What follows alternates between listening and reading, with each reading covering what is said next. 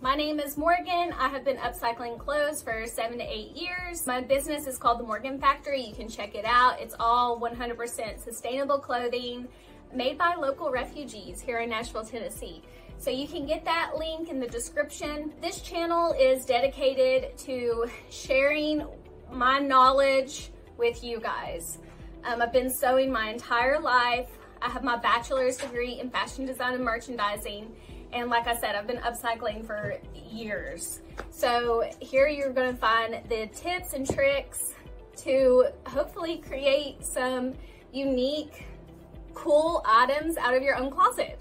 So today I'm gonna be showing you how to make uh, crochet tops. So these are made out of crochet blankets. You can find these in antique stores. You can find these at thrift stores. Um, I have quite the collection. I've been saving them up. But today we're gonna be making a really cool funky top. And these are definitely a fan favorite in my shop. I almost sell out of these every single, Louie, come here. I almost sell out of these every single time I launch them on my website. So I am super excited to show you guys how to make your very own. This one in particular is made with a, I think it was a denim vest or a denim jacket. But what's awesome about this design is that it is free size. It can fit you, your mother, your best friend. It can fit everyone and anyone. We are using crochet blankets today because they are a little bit more tedious. You can replace this like with your favorite fabric. Here is an example of sweater on sweater. So you've got the crocheted sides and I've upcycled a sweater for the middle. And this one's so cute. It has a hood and I just absolutely love the color scheme. Here is an example of the t-shirts. Oh my gosh, people die over these. They absolutely love them. Like how rock and roll and funky hippie are these? Like they are, they are so bomb.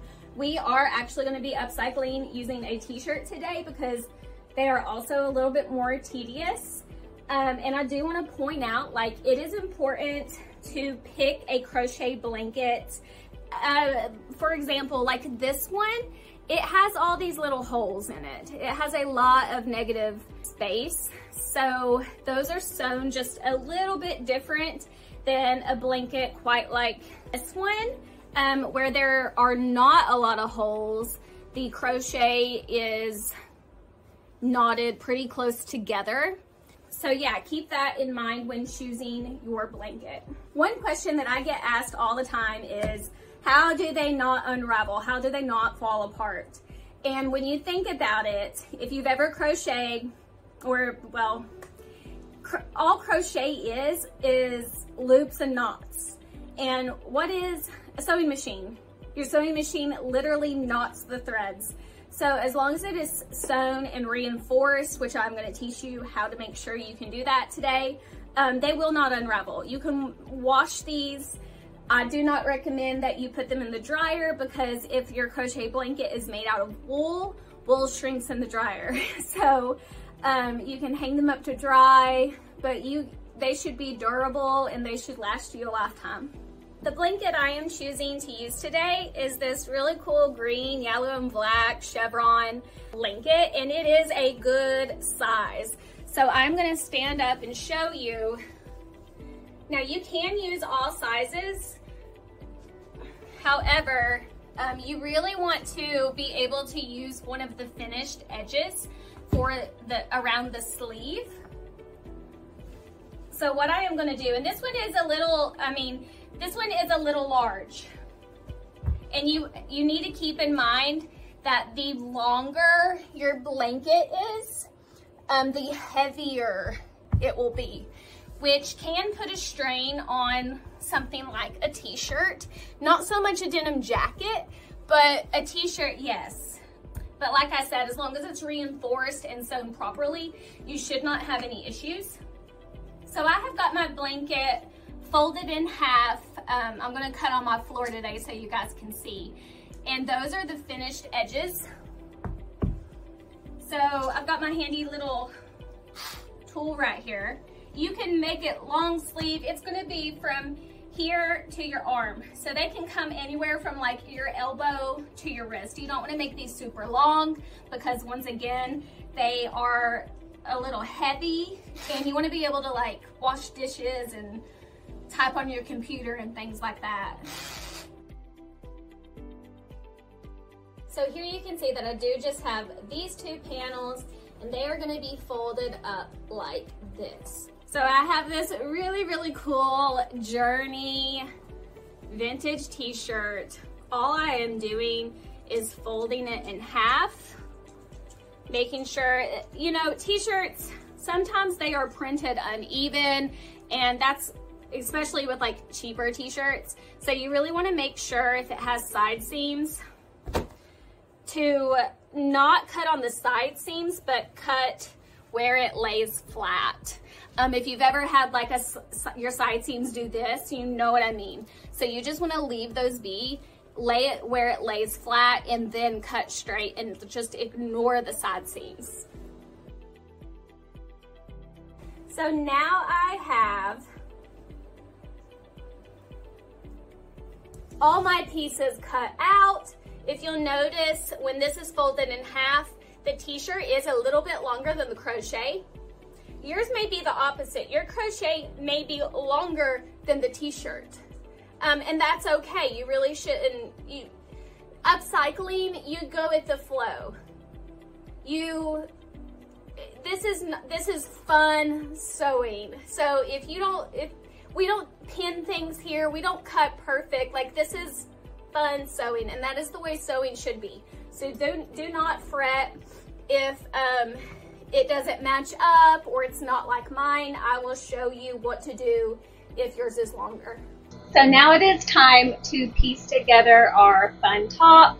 What I am going to do is, um, I like to sew with the crochet blanket facing up um, so I can see. Um, I like to just stick it in my serger right at the shoulder seam. And then I am going to grab one of my pieces.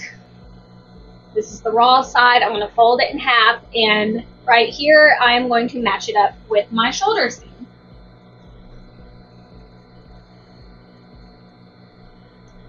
Stick it in the machine. And I am just going to serge without stretching all the way down. And then I'm going to take it where I started at the shoulder seam, lift up my presser foot, and serge all the way down. Now where you started, you are going to have a tail. You do just want to snip that off and then do the other side.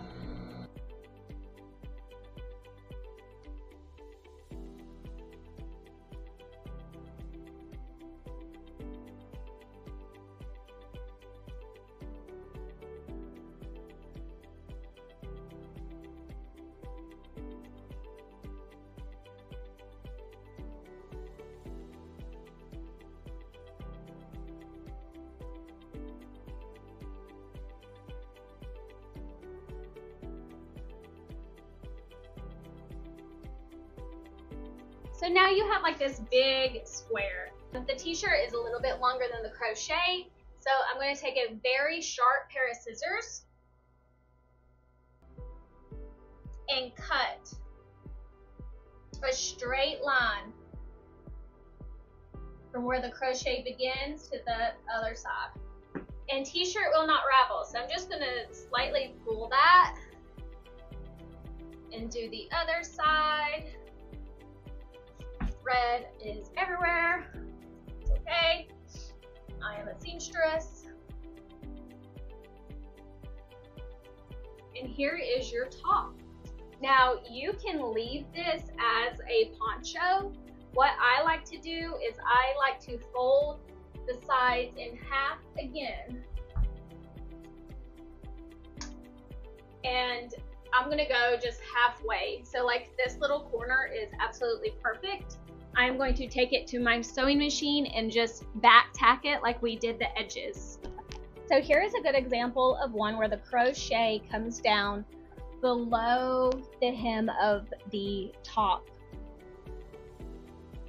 you want to fold this over just a quarter of an inch. You want to place your presser foot about half an inch up on the t-shirt. Back tack always. And then you can either, if you're with a home machine, I would just fold this over one time and stitch all the way down. Um, but on these industrial machines, they are a little bit more, okay, they're a lot more heavy duty. And this is where I like having fingernails because this part can be dangerous. Um, you really want to, especially if you have a lot of loops in your blanket, you really have to have your fingers close uh, to guide the blanket under the presser foot because if it gets caught within the presser foot, all you have to do is, you know, stop and get it out.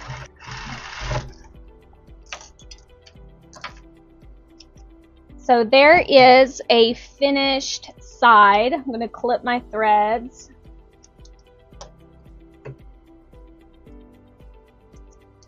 The hem of the blanket is raw, so I am just going to turn that under twice, and it can get thick right here. So if you are on a home machine, you might want to serge it and then just fold it up one time.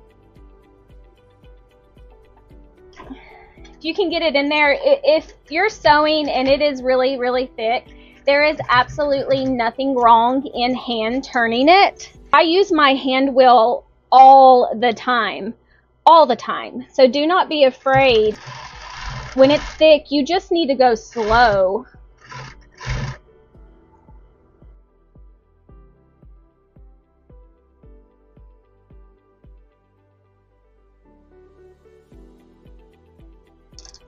Now, just depending on depending on the style that you're working with, some of these do take a little longer than others. Like that one that we previously did, all I had to do was tack that bad boy. This one I am having to sew all the way around the four edges. Don't get frustrated, be patient. I actually do not prefer to let my girls sew these. I like to sew them myself because they are, I mean, this is probably for intermediate advanced seamstress only because you've got to get your fingers super close to the presser foot. And you do have to have patience. Sewing is a lot of patience. It is. See I've got a thread stuck in there right now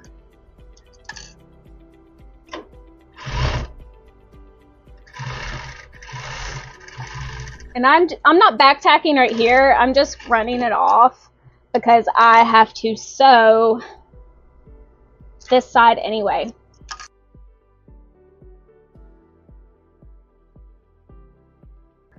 And I like to work in a circle. So I started on one corner. I just picked a corner and then I am rotating the top counterclockwise or clockwise, I don't know. I'm just rotating it in a circle and that is how I am not going to, I'm not going to miss anything. If you work like that, you're never going to have to stop, look at it, and figure out like what you need to sew next. Because once I get to where I started, I know that it is done. And that is a pro tip. If you chose a crochet blanket that has a lot of holes in it, this is a great example. So you can see it, it has just been serged, but it's kind of pulling, it's, it's kind of pulling apart and like you don't want to see that serger thread. Like it, this looks like it's going to come apart. So I'm going to show you how on my sewing machine we can fix that. Once again, you really do want black thread for this. I'm going to show you with white thread, so hopefully you can see exactly what I am doing. Okay, for something like this, you always want, always want the crocheted on top. So right here, you can see that the blanket does not meet up to the edge of where it is serged. So before I sew over that, I am I'm pulling the blanket to where I can sew on it. Again, right here. So I am going to pull that over. And I'm just going to continue to do that um, all the way down. Definitely a little bit more tedious. But it's going to look better. It's going to be better quality. You're not going to be able to see the serge from the outside or the white thread even because everything is going to have um, a piece of fabric there. You just don't want to bunch up um, the bottom.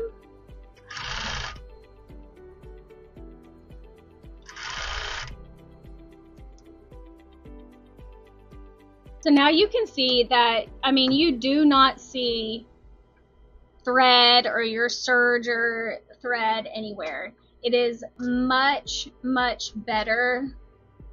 So here is a close-up of the side we just finished. And then here is a close-up of the side that we still have to do. Here is the Journey top. It is absolutely gorgeous. It turned out wonderful. Um, it will fit everyone and it is just so boho rock and roll. It is great. I like to front tuck mine. And this is one where we cut the t-shirt so it meets up with the sides. It's just tacked so you can wear like a little cami under it or not. You do not have to.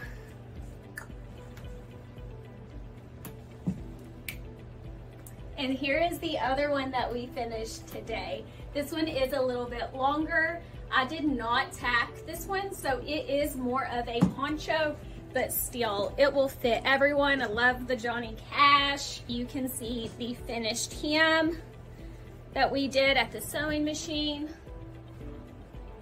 It's fabulous. Ah, and here is a Pink Floyd one. I love the little cutout that we did at the neck. You can do that to yours too. And this is the one where the blanket had a lot of holes. So as you can see, it is just perfectly sewn together. It is as cute as it can be. I am rocking it with my Morgan Factory bell bottoms. If you are interested in those, a video will be coming soon.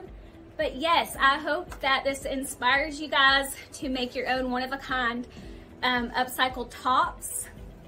And you can do you can do this with anything. So I'm really excited to see what you guys come up with. Please tag me or send me um, pictures if you end up making one. I would absolutely love to see. If you guys have any questions for me, I'll be happy to answer them. You can join one of our Facebook groups.